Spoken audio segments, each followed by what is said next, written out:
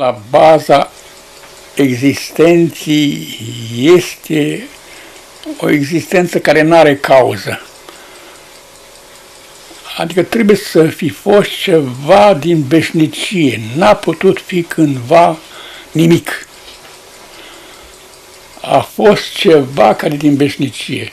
Ori ceva care nu are cauză trebuie să fie, să aibă o perfecțiune, să aibă în el totul. Acesta e Dumnezeu.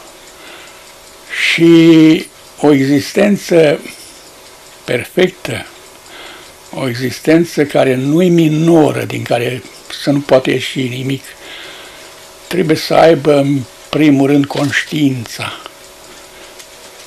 și mai trebuie să aibă și iubirea. Deci un Dumnezeu etern, un Dumnezeu din veci, care este izvorul existenții, care este baza existenței, care n-a primit existența de la altcineva, nici din nimic, trebuie să fie nu o singură persoană, ci să fie o persoană care iubește altă persoană. Și care este iubirea mai curată între persoană și persoană decât aceea între un tată și un fiu? Există un tată și există un fiu. Un tată care iubește cum nu iubește un, niciun tată pământesc, un fiu care răspunde la iubirea tatălui cum nu răspunde niciun fiu pământesc. Și mai este cineva, un al treilea, care bucură pe unul, îl bucură pe tatăl când stă alăturea și prețuiește pe fiul cum îl prețuiește și el. Uite că mai e cineva, vezi ce frumos e fiul meu, așa că e frumos fiul meu. Ce bucuria mai mare. Și când fiul zice către Duhul, vezi ce bun e tatăl meu, adevărat. Și bucuria lui e și mai mare.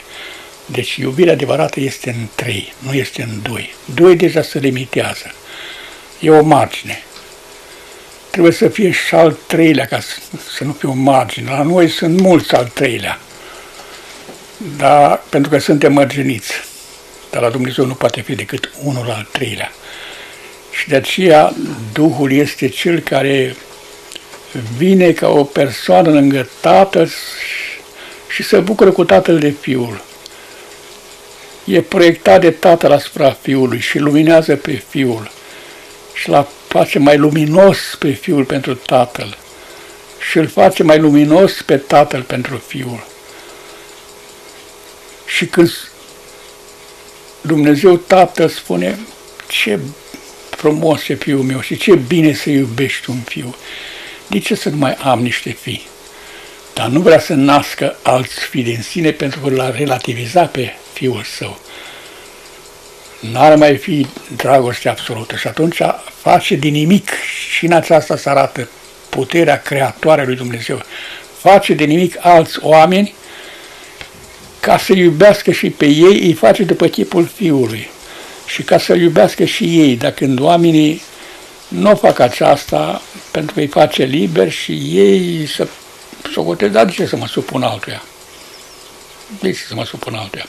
Și atunci cad într-o despărțire de tatăl, atunci face tatăl pe fiul său om și vine ca om între oameni să face frate cu ei și iubește atât de mult că merge până la moarte ca să învingă moartea pe care și-au atras-o oamenii despărțându-se de Dumnezeu. Trebuie să lupți pentru un sens al vieții, luptând împotriva patinilor, lupți pentru un sens al vieții. Și sensul acesta al vieții e viața viitoare.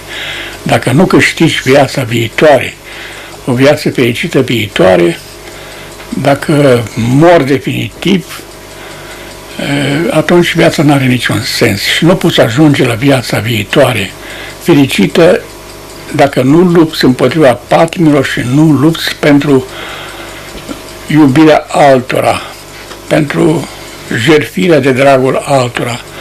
Aici ai și sensul crucii, să porți crucea, să-ți fie viața o purtătoare de cruce, să-ți fie viața capabil de jertfă pentru alții. E făcut omul după chipul Fiului, după chipul Fiului și noi avem un sentiment de fi. Noi nu ne putem considera ultima existență, ultima realitate. Și ne gândim că și noi trebuie să avem un tată și un tată suprem e tatăl. Dar nu suntem născuți din el, ci suntem creați din el. Însă suntem făcuți frate cu fiul tatălui, da. Asta este e, învățătura noastră. Sfânta Treime, Iisus Hristos, Fiul lui Dumnezeu, Fiul lui Dumnezeu făcut om. Asta sunt cele două învățături fundamentale ale creștinismului. Care ele, viața nu are niciun sens. Numai creștinismul dă un sens vieții.